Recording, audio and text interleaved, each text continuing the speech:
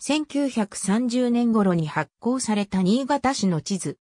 大川津分水によって流量が減った信濃川河口部では川幅縮小工事が行われたのに伴って従前の右岸堤防は現在の東県道にあたる都市計画道路新潟コスド線の建設用地に充当された。新潟市中央区万代付近、新潟市港南区前方付近。県道1号はほとんどの区間において信濃川右岸の堤防に沿って走る。新潟県道1号新潟コスド三条線は、新潟県新潟市中央区から三条市に至る県道である。通称コスド線。新潟市中心部の東大通から西へ分岐し、新潟県庁の前などを通り、信濃川の右岸側をほぼ川に沿うように南下する。中央区大島以南は、信濃川の堤防上を行く。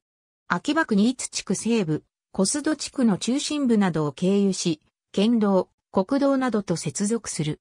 小須戸地区南部から南神原郡田上町にかけての一部区間は、狭隘な単車線区間。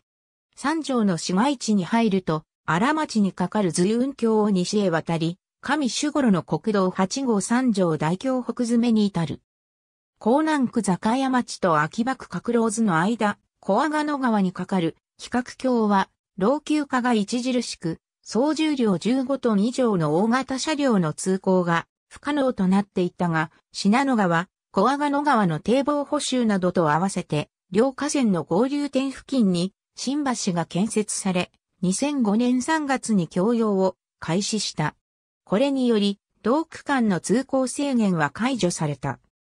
なお、起点部の流作場五サロモズ一丁目交差点間は、流作城方面への一方通行。流作城からモズ一丁目は、旧新潟駅前通りを経由する。24時間交通量道路交通センサスより一部データを抜粋して作成新潟市中央区八千代付近。ありがとうございます。